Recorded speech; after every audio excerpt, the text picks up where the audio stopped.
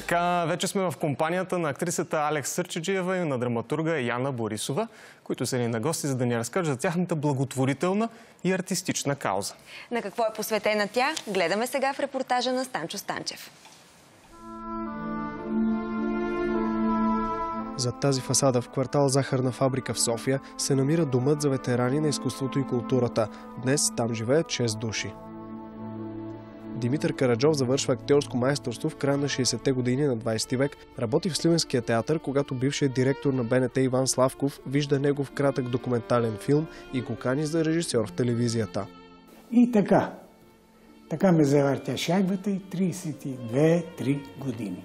Ваши колеги от телевизията гостували ли са ви? Идват ли при То в вас? началото беше лудница. Много хора и много поводява, само като звънни телефона ми идваше да го шиб до стената. Но дето се оплаквах от GSM-а си преди секунди, ето го, то два-три дена мълчи. И кога дойдохте тук? Че колко стана? 6 години и половина. Сега в февруари ще станат 7. Чудесно място.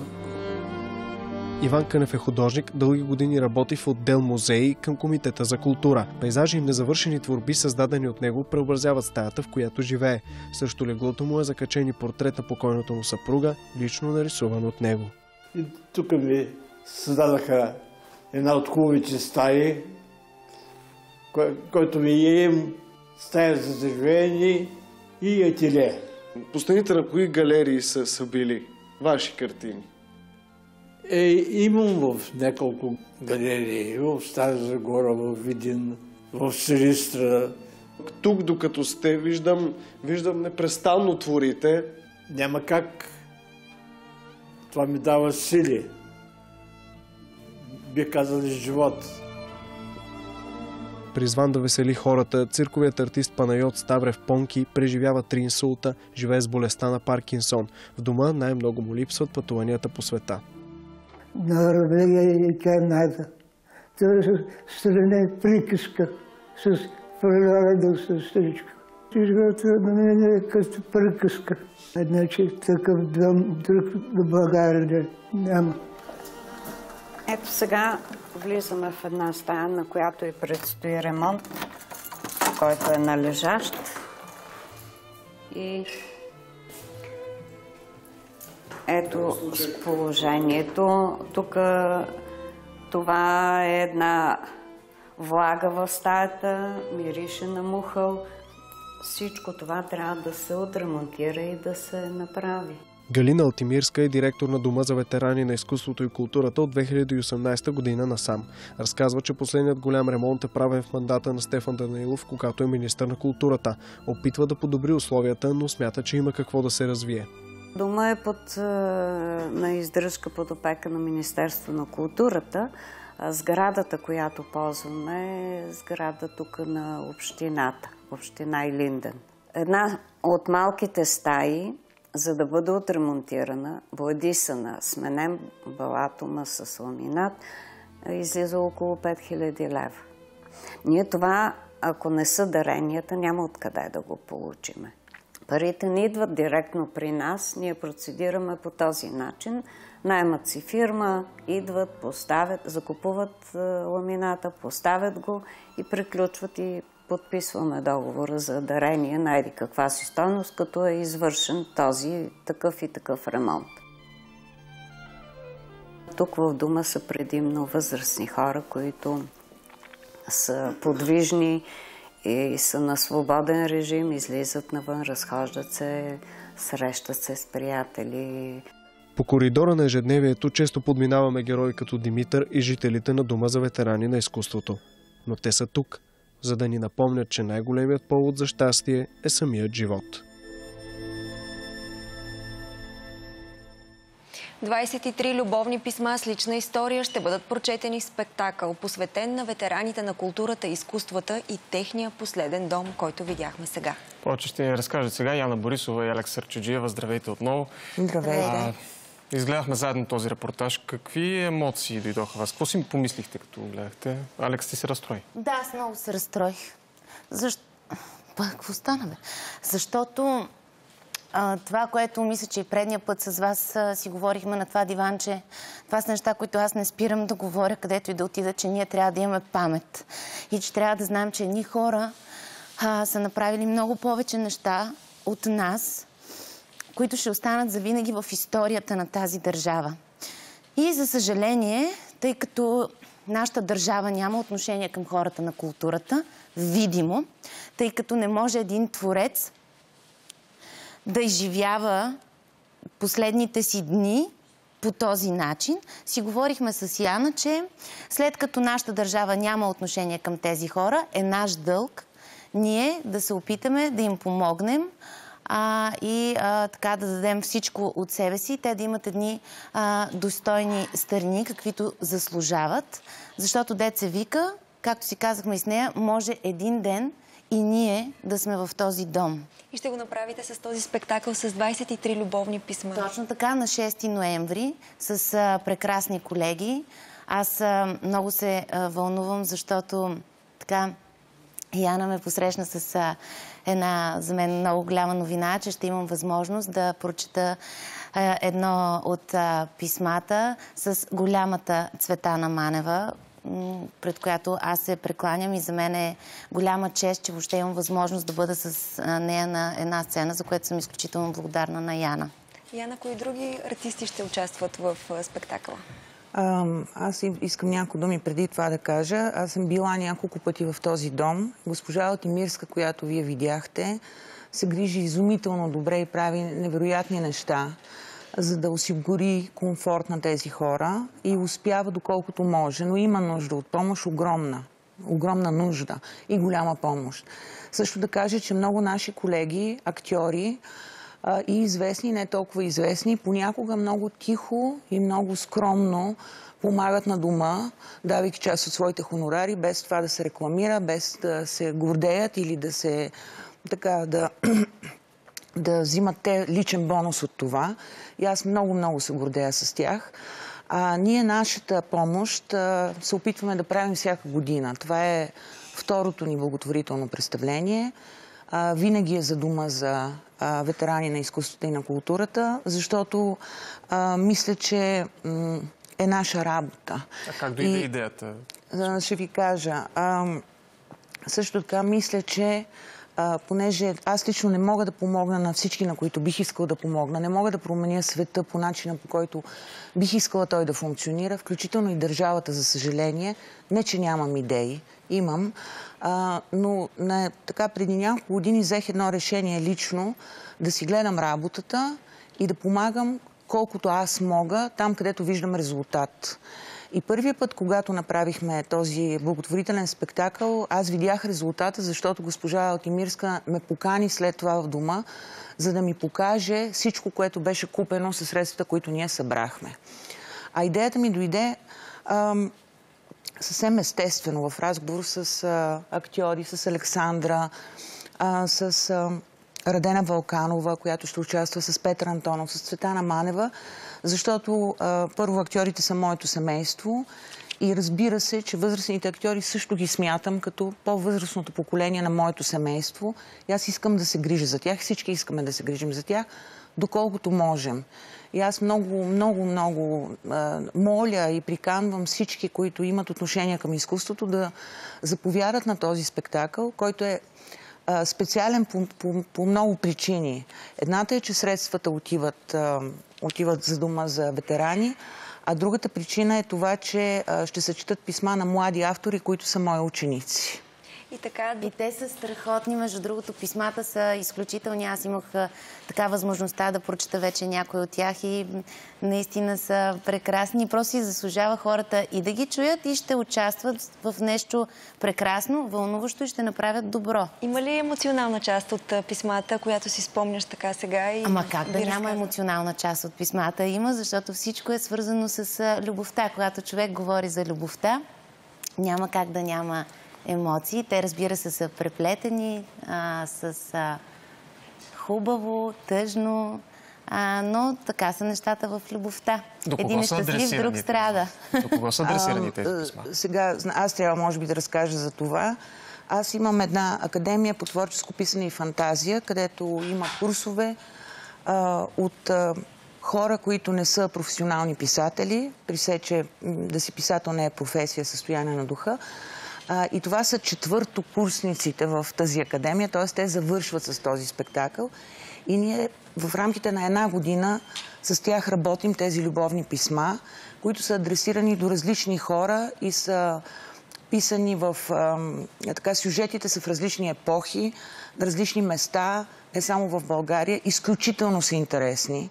Изключително талантлив клас е това. Ако мога клас да ги нарека, аз ги наричам моите дракони, защото те са смели, могат да летят.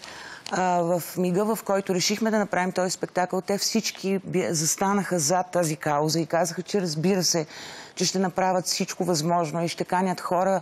Правим една книга с тези писма, 23 любовни писма, средства от които също ще отидат за дома. Това са, ам, това са тези хора, за които аз винаги говоря. В България е пълно с прелесни създания, просто никой не ги осветява, а те не са с толкова силни гласове. И нашата работа е на хората, които имаме възможност, имаме микрофони и камери, да показваме и тези хора, в случая това са 17 а, автори от всякаква възраст. От всякаква възраст да, има. има Ако приемем, че аз съм млада, има и колкото мен млади. А, но са много сърцати, много обичат писането, много обичат театъра, много обичат всичко, което ние правим. Те са част от нашата публика и винаги надявам се, че ще останат такава. Имат страшно много идеи от тук нататък да продължат да работят, така че и тях трябва да подкрепим. Къде и кога можем да гледаме спектакъл? На 6 ноември може да заповядате. Сега аз не, не знам дали мога ли да кажа мястото. Не мога. Да, в София Лайф Клуб. А... може, не може, казахме. Казахме го. Да, така, че мога да го кажа. И наистина ви обещаваме, че бъде една страхотна вечер, защото Яна е магиосница и Яна е един човек, който а, аз съм много благодарна, че живота ме срещна с нея и човек, който знае как да подава ръка. Така че аз съм... Ние с Алекс да имаме няколко проекта, които правим заедно. Много се обичаме и ние сме семейство, така че се хвалим една друга, където и да отидем. Ама да дойдат и на другите ни проекти, защото ние заедно направихме с нея на живо, направихме с гръб към залеза, което предстои да се играе на, на живо е на 28 октомври, на 7 ноември, а с гръб към залеза е на 17 ноември. Веднага Браво, се направихме реклама. Има къде, има къде да дойдат. Хората благодарим ви за това участие. Стискаме палци на тази благотворителна инициатива, която сте подели на всички следващи, които предстоят. Успех! А сега обръщаме поглед към една личност, която винаги ще остане в паметта на публиката като любимец 13. През седмицата се навършиха 100 години от рождението на апостол Карамитев, една от първите звезди на българското кино, обичан театрален актьор, учител за десетки артисти. Какви са последните думи, които казва на сина си Момчил Карамитев? Бил ли е отдаден баща? Какви забавни истории и ценни съвети е предал на своя наследник? За вечния любимец на българското кино разказва Станчо Станчев. Нели! Нели! Венчахте се, а? Венчахме се, велики княже. Благослови като баща. Иди и кажи, че в 8 часа ще се приберем. Е, бе, в 9 не може. А, дай, дай, дай. Той покорява публиката със своята усмивка.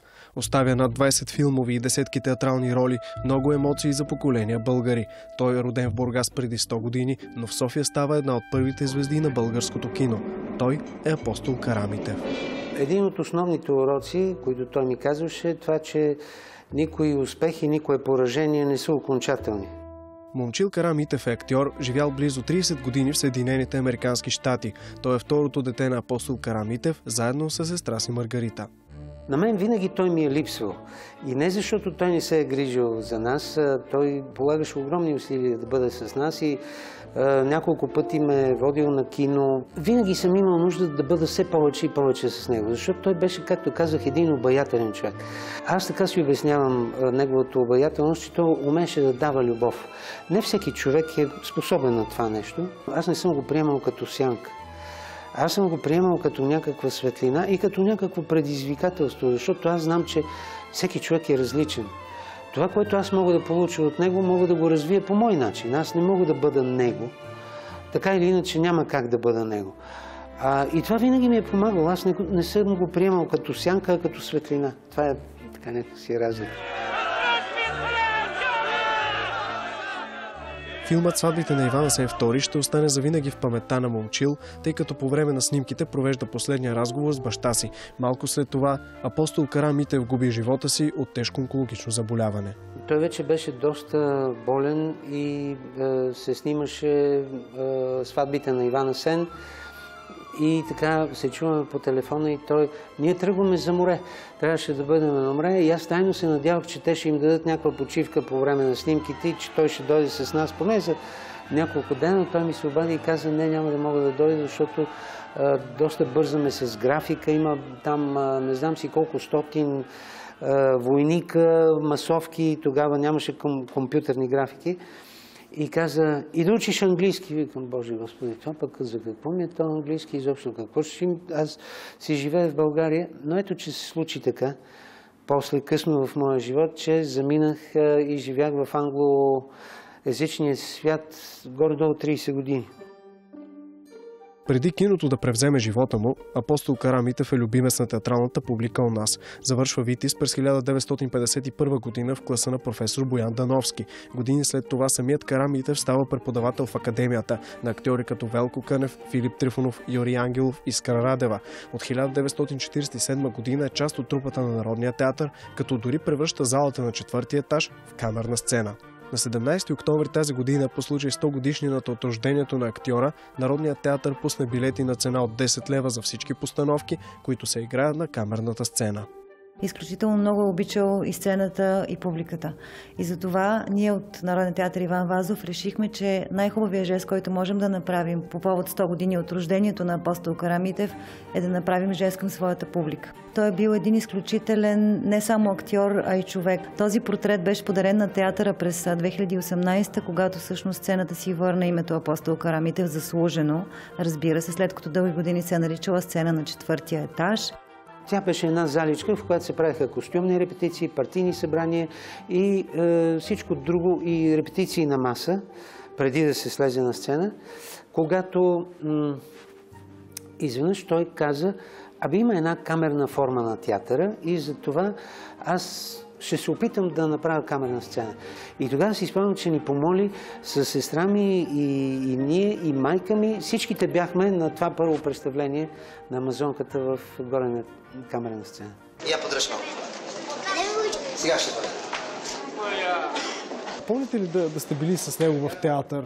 Да. Аз бях доста малък, защото трябваше да ходя на детска градина, обаче имах някакво, някакво стомашно заболяване и ходих всеки ден на репетиции на пиесата Мигове от живота. Той имаше едно състезание с някакъв негов колега в самата пиеса, кой ще сдъвчи повече дъвки. И винаги ми оставяше по няколко дъвки на страна и като свършваше репетицията, аз получавах тези дъвки. За мен театъра беше тези вкусни дъвки. За нарушение на градинарския правилник 3 лева глоба. Именно тук на лятната сцена в Борисовата градина апостол Карамитев и Гинка Станчева изиграват финалната сцена от филма Любимец 13, една от най-обичаните български романтични комедии на всички времена.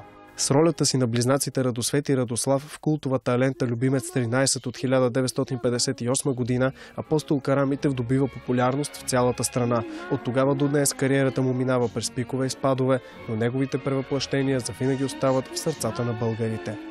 Той носеше един знак на неговото изкуство, което беше уникален и това беше една сърдечност.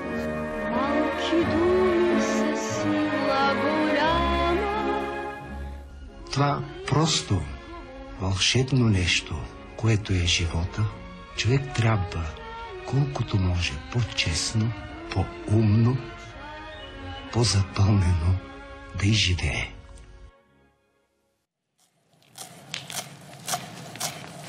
При нас вече готвенето продължава с пълна сила. Дори сме на финалната права. Митю се е взел с задачата да реже Магданоз. Е, шеф, Добре каза, се справяш. шеф каза на режими Магданоза, ето ти моя меч. Моя меч? Еми да, твоя японски самурайски меч. Между другото, много добре реже. Да, Ники, той наистина. става Е, сега наближава Даже зимата. твоите ръце, даже става и за, ръце, виж какъв... а, Става и за свински колеш. Как финно го режеш. Но това е магданос, иначе ще да кажа, че режеш на брюнуаз, което е рязане на малки квадратчета. Ма добре ли Но се случва, а? Бе, добре го съм така. Усеща се, че режеш нещо, нали? Да. Става Мите, като днеска за морско свинче. каза, че? На мекицата. Да, прилича ми на мекичка.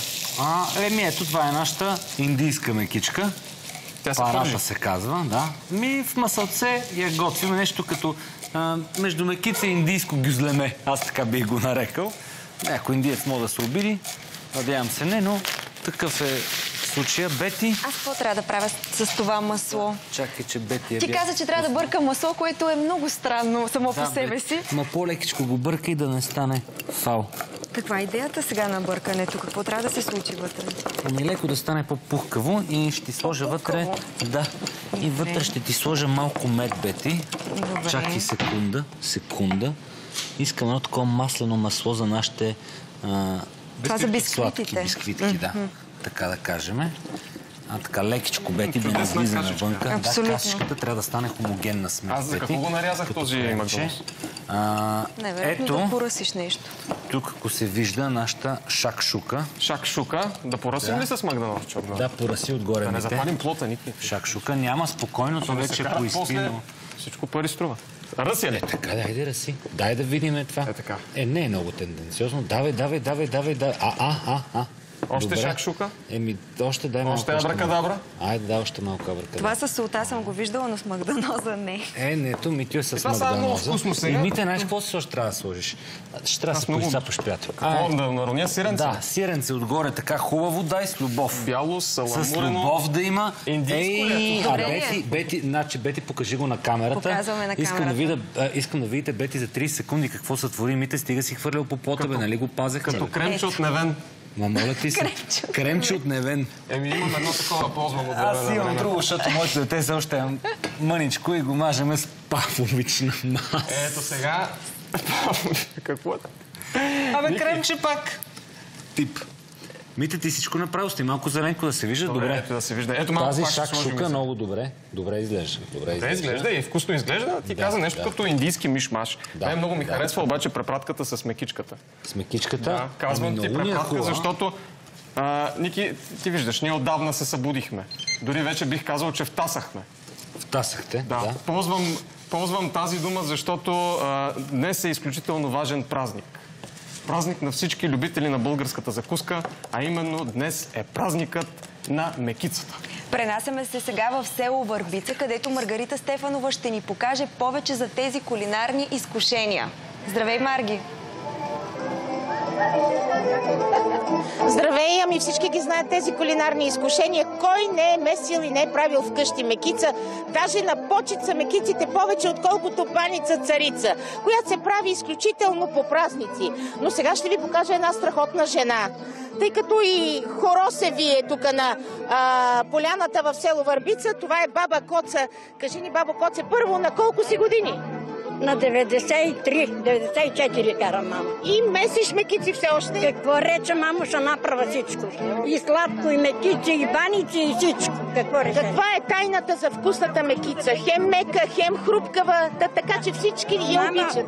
Само содица и, и, вод, и водица. Така мама, на мама са мекиците, значи. Мама ги, ги, ги оставам на дъщеря си, като си вида. Нали? Добре, мамо. Всички ли ги ядат вкъщи? Боже, мамо, цяло село съм ме наранил. И ти дойди, значи, 10 душ могат, 20 душ могат да посрещат. Айде, почвай сега. Аз гледам, че част от мекиците вече се пържат. А, ето тук сега ще ви покажа пък а, друг а, тип мекици. Това са мекиците с а, много богати съставки, нали С така? а, яйца, с кисело мляко, с мая, с сода и така. Тези са теглени. А, Да. А, Искре, ти кога правиш мекици? Когато идват децата или все пак ощастливяваш и мъжа Емил? Ела тук, Емо, ела. Защото ще те питам и тебе дали те е научила да прави мекици. Диан, Диан. Той се казва Диан. не Емил. А, правиме не само кога да дойдат децата, правим си и за нас. Кога за закусчица, с, а, вътре сложиме а, сладкота с а, сини сливи, сложиме сиренце а, и ги изпръжваме. закуска. Най-хубавите мекици правил село Върбица тя. Щом са най-вкусни, предполагам, че и хората ще кажат, обаче ето сега тук ще ви покажем за конкурса мекици всякакви. Какви са? Мекица с яйца и козе сирене и мекици с сладко от сини сливи с много любов са направени. Радосвета Крумова е член на журито. Защо са ви тези чушлета, госпожо жури?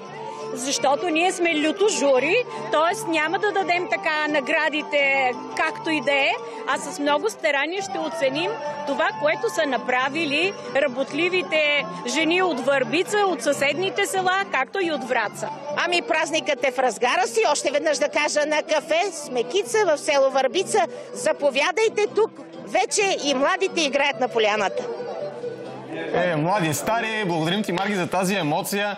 Ако ние тук сме една туристическа агенция, тази събота и неделя тур, ви предлагаме еднодневния вакансион да си тръгнеш от село Върбица с, в ръка с мекица. А сега сменяме темата и се пренасяме в света на музиката, защото в студиото ни вече е участникът от Гласът на България Георги Арсов. Здравей! Здравейте! Чуваме твоето изпълнение от участието ти. Защо избра тази песен точно? О, тази песен, тя ме следва от години. Аз още преди да стане много популярна, като я чух, си казах, боже, как може да има такава песен в днешно време, толкова чиста, толкова семпла и едновременно с това толкова дълбока. И после започнах много да я пея, включително Стефан съм имал възможността да я пея и заедно с него. И нямах никакви съмнения, че това е песента. Просто мисля, Тя е екипа- обаче нож с две остриета, защото сред изпълнителите е и треньор от Така е, журито. така е, да, така е, но слава богу, този нощ беше с тъпото отпред и а, беше, много, беше много хубава емоция и се радвам, че отзвука от хората, които са го гледали и слушали, са усетили този прочит, който е по-различен, по-мой. И разбира се това, че и самия Стефан така се изказа доста добре и с хубави думи за изпълнението, ме кара да се чувствам добре, че съм взел правилното решение. Ние малко по-късно ще чуем и друг музикален поздрав към нашите зрители от твоя страна, но кажи ни всъщност за любовта ти към музиката. Как се зароди? От кога свириш на китара и пееш? Ами аз, и това, което във визитката казах, китарата я хванах заради това, което всеки китарист според мен хваща м, китарата, не си го признава. Това са момичетата. Но нали, това беше едно временно, като бях малък и после, после някакси музиката ме обгърна. Сега за жените, защото преди за момичетата, вече като Не, сега просто. вече е за музиката. Сега вече наистина е за музиката. Надраснах го този период, слава богу. А, и музиката някакси ме обгърна. След това театъра се появи много ненадейно, заедно с музиката в театър Лаборатория Малтер с хората, на които съм благодарен и дължа много от това, което съм. Това са Николай Георгиев и Пети Йосифова, с които работим вече много дълги години. И всъщност музиката и театъра вървяха ръка за ръка и то си дадох сметка, че едното без другото те не могат да съществуват. Това е за всеки един артист, според мен. Ти всъщност играеш е, в театъра, спомена вече. Да, но да. Не само в театъра, но и в операта. Да, в операта също участвам в Мама Мия, в мюзикъла. Един прекрасен мюзикъл, нека кажем. Да, да, много го харесват хората. Много, много харесват да се забавляват с него.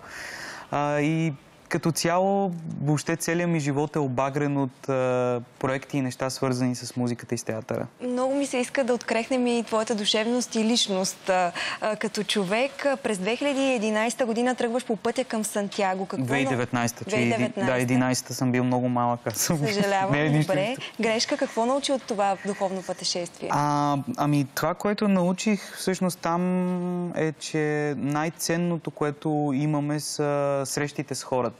Там е много интересно, защото ти вървиш по един път и срещаш едни хора, които не знаеш дали ще ги срещнеш някога пак в живота си. И тия разговори, които имаш там, осъзнаваш, че те може би са единствени по рода си, няма да се повторят и всяка среща е много ценна. И после като се прибереш, всъщност си даваш сметка колко ние сме склонни да пренебрегваме хората. Някакси да си кажем, този разговор, сега аз мога да си говоря с него утре, мога да си говоря други ден. И въобще цялата тая застиналост на времето, докато вървиш, усещането да ходиш по един път и единственото, което да имаш право, и, и смисъл е да вървиш и стъпките да отекват за теб е много смислено. Според мен всеки един човек може да върви камино, като не е задължително да го върви в Испания. Той може да се върви навсякъде. А ти виждаш пъти на пилигримите като възможност навсякъде, не, не просто. Ами да, вече си давам ясна сметка, че камино е вътрешно преживяване по-скоро, отколкото е някакъв външен процес на ходенето. Естествено, там е много по-лесно да се предразположи, защото цялата атмосфера и хората с техните супер колоритни истории. Аз срещнах една жена, която вървеше шести път и тя е на 78 години с една раница по-голяма от нея. И вика, мен синовете ми починаха, мъжа ми почина. Това е единственото, което имам. Всяка година идвам тук и си вървя. И някак си го казва толкова просто и те сриват тоя, това откровение. А това пътешествие свързано ли е по някакъв начин с твоята мечта да опазиш природата и вървиш ли по тези стъпки? Ами аз много се старая да, да пазя природата, да, да давам от себе си своя принос. Естествено, той е малък, но в крайна сметка, ако всеки един дава по-малко, то ще се напълни, нали, а, за да стане достатъчно много. А, естествено, на камино много се вижда и се усеща самото влияние на природата върху човека. Колко ние сме свързани и е много тъжно как понякога ние откровенно се опитваме да се развържем от нея, някакси да се отдалечим, да кажем ние сме независими, нямаме нужда от природата, склонни сме да тъпчем всичко, което можем. А всъщност, ако ние се вгледаме в нея и я пазим, мисля, че самия свят ще стане много по-красив. BTV го има като инициатива всяка година да почистим България И заедно. ние показахме. Да, и ние се опитваме да го показваме, така че прегръщаме тази твоя идея. Благодарим ти а, за това откровение, което направи пред нас Георги. Стискаме ти палци в гласът на България. След минути ще го чуем и в студиото, Да. на живо. Но сега останете с кратки реклами.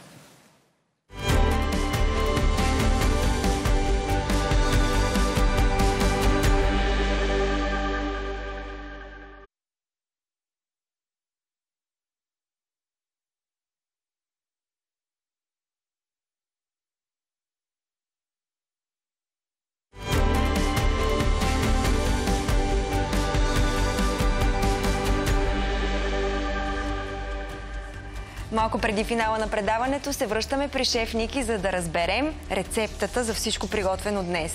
Рецептите са много. Надявам се на екрана да са били изписани през цялото време на готвене. Ми тук мога поръсиш малко българска нотка самардълка. Малко си далече, ама нищо. Ти си Е, така. високо момче, ще се справиш. А, така, самардълката. Много хубаво ни станаха паратките. А, ами ето е фритатата ни с беконче, прас, моцарела и хубав български кравик шкавал. И шакшука с кимионче, паприка, чили, пушено червено пиперче, българско сиренце. Подобно на мишмаша ни. Много подобно, Но звучи, да. да, звучи простичко за правене. Ти показа на циганчето как се запушват яйца. После чупите от хлебчето и почвате да се мажете питателно и нашите хубави а, бисквитки, които ще върват прекрасно с това медено масло. Което аз направих този. Да, Бети го направи, наистина Искам да е ги... така. Може ли да ги опитам? Е, как вече са Бети, ти вече готови. направо ги опитваш, аз виждам. Добре, Ники, има ли нещо а, важно около рецептите, което смяташ, че хората трябва да знаят, като направят своя шакшука, сладко или нещо? М, Когато готвите самите зеленчуци, а, лучица, праза, те неща трябва да се готвят бавно и така да умекнат и чак след това да прибавяте домати. Това е много важно, като една основа на една добра манджа. Така да кажем, за да може да ви стане вкусно ясето после. Винаги слагайте сол на зеленчуците, защото това отпуска водата от тях, от лука и просто стават по-бързо в а, консистенцията на каша, което е важно. Така, кашата структура почва да имат. Ами, аз мисля, че е време да нападаме. Ники, ти ще останеш ли с нас да си ги изядем тези неща? Да, аз съм на диета все още, но ще ви гледам така как ги хапвате. Ще гледаш с мантра. Ти другата седмица май е, ще отсъстваш. Другата седмица ще отсъствам, на състезание съм. Мога да ме гледате от Варшава, даже ще ви изпратя материали. Даже по-скоро следващата седмица ще ви покажа на живо, тъй като смятам да направя на следващия ден след състезанието. Фуд тур ще правя във Варшава. Ще увършая колкото се може повече заведение за вкусна храна. От Ники- нашата турагенция е, шеф Към Ники турагенция. е, ще върше и извършава. Точно така. И очакваме след това да дойдеш и да ни разкажеш. Абсолютно да, с снимков материал и видеоматериал най-вече ще има подробен. Чудесно, Ники. Това беше всичко от нас за тази събота и неделя, уважаеми зрители. Пожелаваме ви слънчев, почивен ден и успешна седмица. Очакваме ви и следващата седмица точно в 7.30. А сега е време за музика.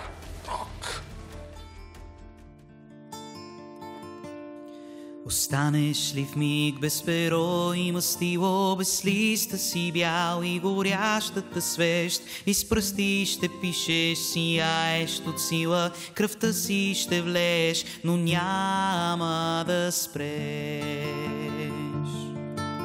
Но как ще твориш неуморни поете, загубиш ли вяра, надежда, любов? Очите ти слепи са, слаби ръцете са, трепери душата без пулса, огньов. Нима ще замлъкнеш и тънеш забрава, обречен да крееш ненужен и клет, във време, в което се всичко продава, отчаиващо нужен си, щом си поет. Очите ти слепи са, слаби ръцете са, трепери душата без пулса огньо.